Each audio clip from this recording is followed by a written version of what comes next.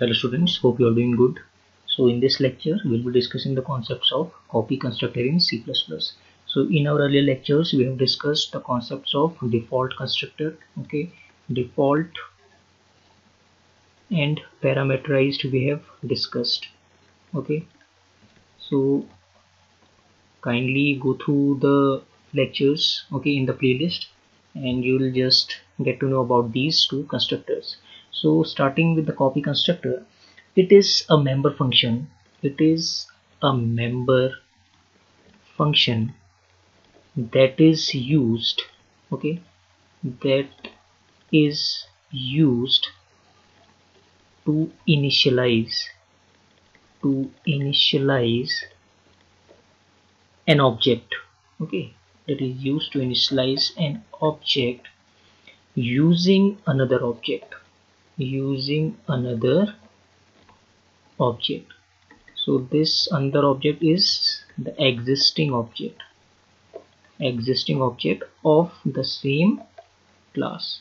So this condition is very important that both the objects belongs to the same class. This is very important. Okay. So as we have discussed in the default constructor that if okay we are not creating any constructor in our class then the compiler creates a default constructor. In the same way if we are not creating any constructor in our class then the compiler is also going to okay, implicitly create a constructor that is known as a copy constructor. So a copy constructor okay is also invoked okay by the compiler by the compiler implicitly.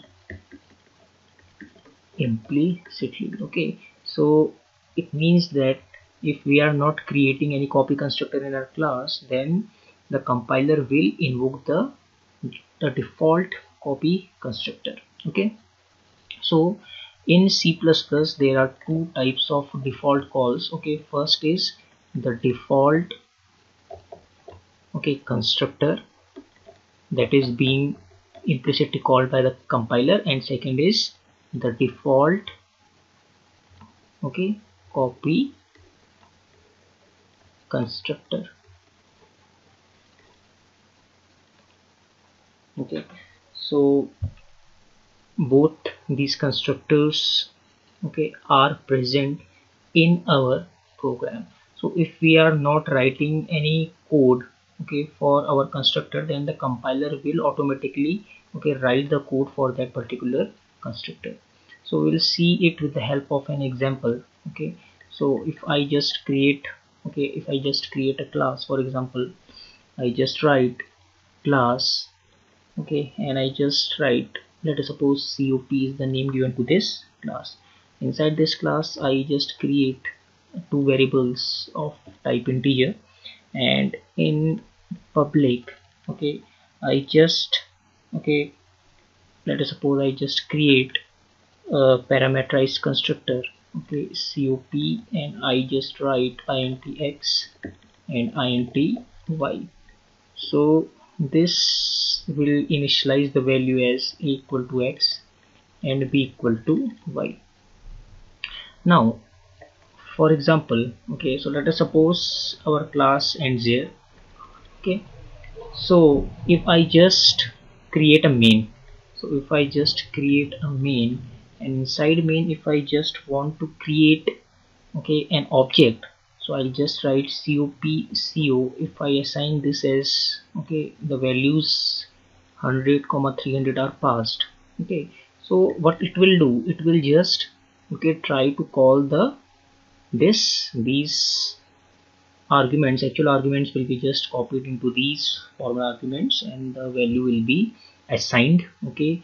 X value will be assigned to a and y will be assigned to b and in this way we can print the values of a and b okay? But what if again I just create a constructor okay? I just create let us suppose an object cop c1 and if I just write is equal to c okay so what I'm doing I'm just assigning okay I'm just okay initializing. Okay, you can say i'm just initializing the value of co to c1 okay? So in the internal way okay the values that is 100 and 300 will be assigned to the object okay that is c1 so if I say that which constructor will be called then most of you will be thinking that this constructor COP will be called because most of you will be thinking that this particular okay 100 and 300 okay this contains two arguments and this CO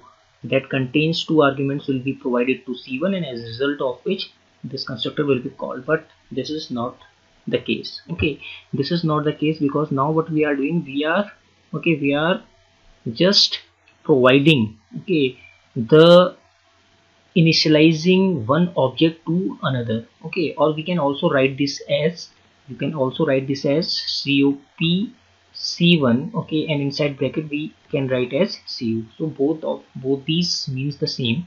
It means we are just passing as an argument okay co okay inside this c1 object okay.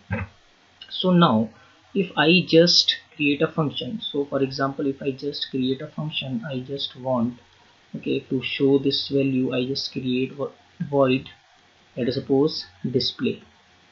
Okay and I want to show the value of a and b in the screen. So if I write a and b okay and I just close this function and if I want okay if I want that co dot display and c1 dot display.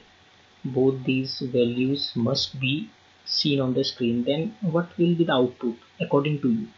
So most of you will be thinking that it will result in an error because for this particular thing okay for this particular statement we haven't created any syntax. Okay we haven't created any okay function okay that will take as an argument this type of object or object reference you can say. Okay because what we are doing we are passing an object inside okay another object. It is looking like this that we are passing an object inside another object of the same that belongs to the same type. Okay so now what we'll do if I will just try to compile this code okay so this code will be compiled successfully and the output will be okay shown to the screen that is the output will be 100 300 and 100 300 okay so 100 and 300 and 100 and 300 will be printed. So first 100 300 will be for this co okay that is the parameterized constructor will be called. And second 100 300 will be for this c1 that is the copy constructor will be invoked.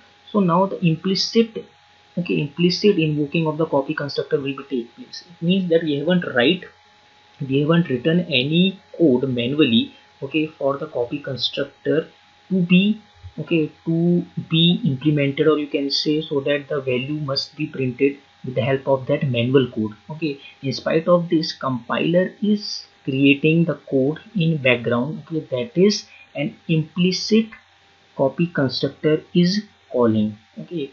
So here the output will be in this way. But what if I want to write the code for this copy constructor okay so if I don't want that compiler must execute its copy constructor in spite of this user explicitly wants to invoke the copy constructor so what he will do okay he will write its own code. So what he will do so if you just okay if you just see this particular okay statement so what it's doing it's just taking an argument okay it's just taking an argument an object of type COP okay. So if it will take an argument of type CO then obviously it will also return okay certain value okay to this particular constructor to this particular object that is of type COP so the syntax okay for copy constructor will be the class name okay.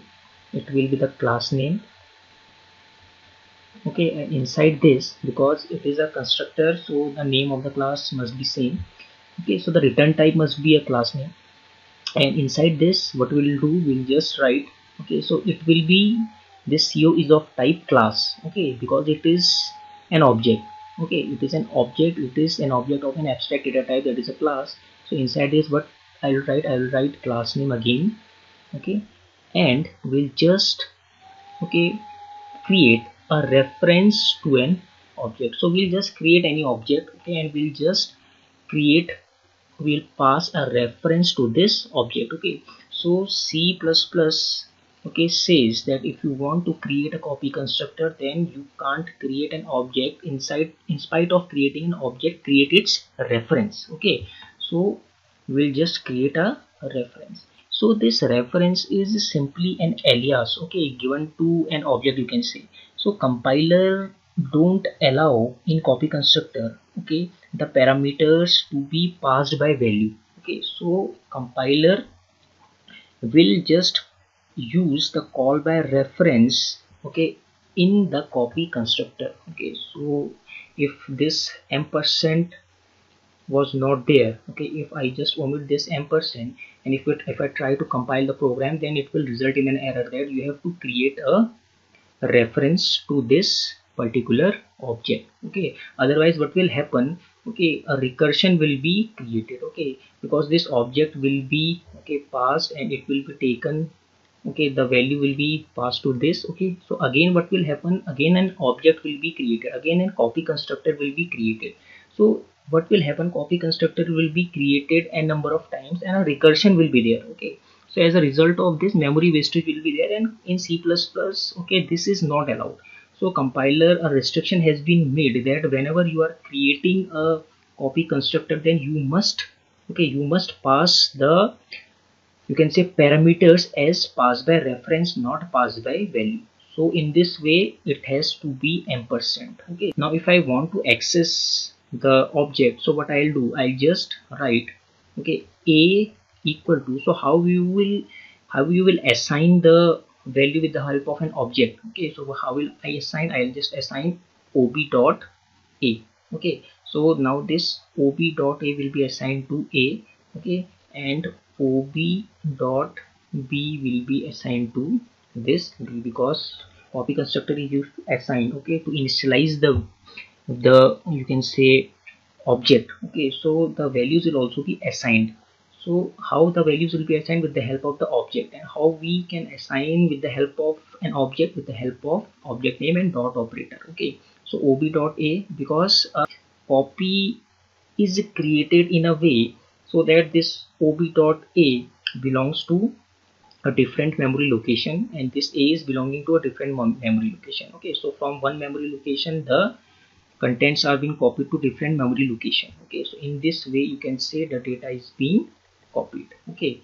So if this is ob1 okay and this is you can say ob2 okay. So in our case what is this? They can say this is CO and this is C1 so this is for example A okay this is B.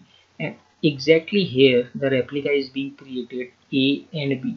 So this A will be okay copied to this. The value of B will be copied to this. Okay so with the help of the alias of this particular CO, the reference of this particular CO and the reference is what is the reference? We have created OB as a reference. So OB dot A. So OB dot A will be okay you can say OB dot A will be copied to this A and OB dot B. Okay so for this B the reference is OB and with the help of this reference how I will just copy the value OB dot B will be copied to this B. so in this way it will work. So i hope now it is clear to you. Okay so two types of constructors are created implicitly by the compiler. One is default and the second is copy constructor if i. Okay so if i don't want to create any code for the copy constructor in our program then the compiler will automatically create it implicitly. But if i want that manually i should write the code for the copy constructor then i have to write in this way. That is the class name followed by okay class name ampersand ob and this okay. So it will be like cop okay followed by cop ampersand okay. Any name of the object for example c this is the reference we have created so a is equal to c dot a and b equal to c dot b. So this is the code that we have created explicitly. Okay explicit copy constructor this is we have created. Okay. So i hope it is clear. So now we will just see the practical implementation in the subsequent lectures. Thanks